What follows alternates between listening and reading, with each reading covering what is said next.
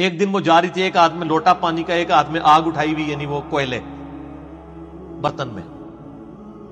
पूछा, कहाँ जा रही हो? कहा कि, मैं इस पानी से दोजक को बुझाने जा रही हूँ और इस आग से जन्नत को आग लगाने नाउज ये तो कलमात कुफर है, सर। ये जन्नत की तोहिन है। अल्लाह की किसी भी चीज़ की तोहिन करना कुफर है। ताकि लोग अल्लाह की रजा की खातर इबादत करें, जन्नत दोजक से न सर, जन्नत दोजक की लालच किसने दी है? शैतान ने या अल्लाह ने?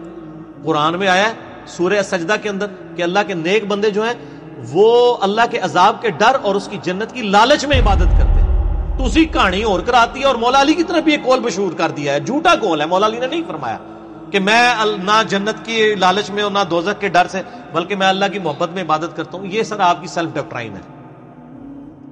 सूर्य फुरकान में आया कि अल्लाह के नेक बंदे तो दुआ करते हैं, रब्बना सिर्फ़ अन्ना आदाब जहन्नम, इन्ना आदाबा काना गरामा। अल्लाह हमसे दोजक अजाब फेर दे